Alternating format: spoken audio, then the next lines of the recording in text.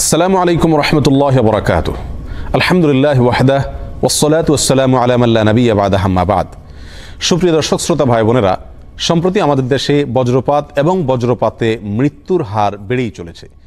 প্রতিনিয়ত শোনা যায়, অমুক জেলায় এতজন মানুষ বজ্রপাতে মৃত্যুবরণ করেছেন। বজ্রপাত এবং বজ্রপাতে মৃত্যুকে কেন্দ্র করে আমাদের সমাজে বেশ কিছু ধারণা প্রচলিত আছে। আজ আমরা সেরকম কিছু ধারণা নিয়ে আলোকপাত করব। ওমা তৌফিক ইল্লা বিল্লাহ। প্রথমত, এক শ্রেণির লোক মনে করেন বজ্রপাতের মৃত্যু, এটা শহীদি মৃত্যু। অর্থাৎ যিনি বজ্রপাতে মৃত্যুবরণ করলেন, লোকটি শহীদের মর্যাদা পাবেন। আর হুবহু এর বিপরীতে কিছু লোকের ধারণা হলো, বজ্রপাতের মৃত্যু এটা অপমৃত্যু, বজ্রপাতের মৃত্যু এটা অভিশপ্ত মানুষের মৃত্যু।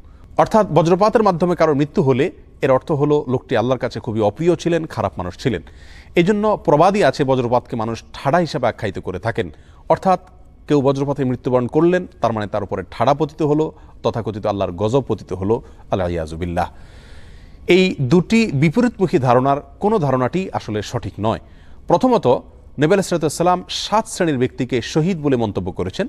সেই সাত শ্রেণির ব্যক্তির ভেতরে পেটের পীড়ায় আক্রান্ত হয়ে মৃত্যুবরণকারী ব্যক্তি, দেয়াল ধসে মৃত্যুবরণকারী ব্যক্তি, আগুনে পুড়ে মৃত্যুবরণকারী ব্যক্তি অথবা পানিতে ডুবে মৃত্যুবরণকারী ব্যক্তি সহ অন্য যারা আছেন, তার ভেতরে বজ্রপাতে মৃত্যুবরণকারী ব্যক্তি নেই। অর্থাৎ বজ্রপাতে মৃত্যুবরণকারী ব্যক্তি শহীদের মর্যাদা পাবেন এরকম কোনো কথা হাদিস থেকে অথবা কোরআন করিম থেকে আমরা জানতে পারি না। বিধায় বজ্রপাতে মৃত্যুবরণকারী ব্যক্তিকে শহীদ হিসাবে মন্তব্য করা আমাদের জন্য সমীচীন হবে না।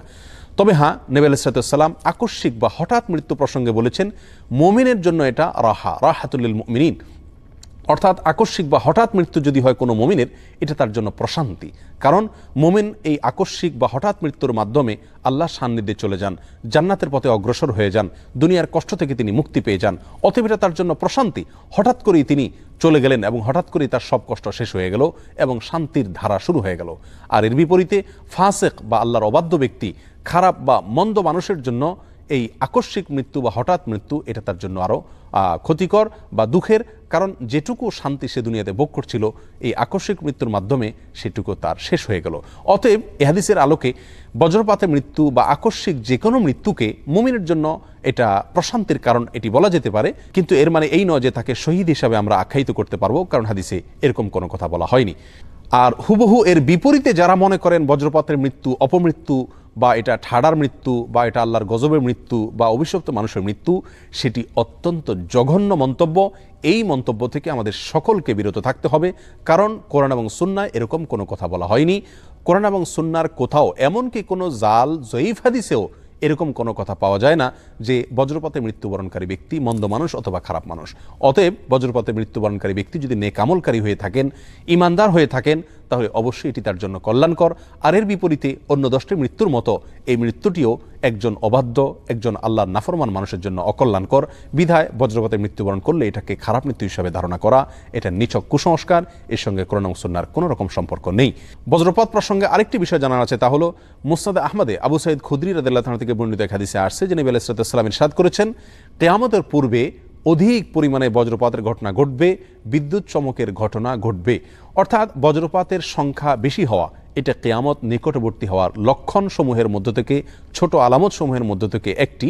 আর এই হাদিসকে কোনো কোনো মহাদিস জয়ীব বললেও অন্যান্য মহাদিস গ্রাম এটাকে সহি বা বিশুদ্ধ বলে আখ্যায়িত করেছেন।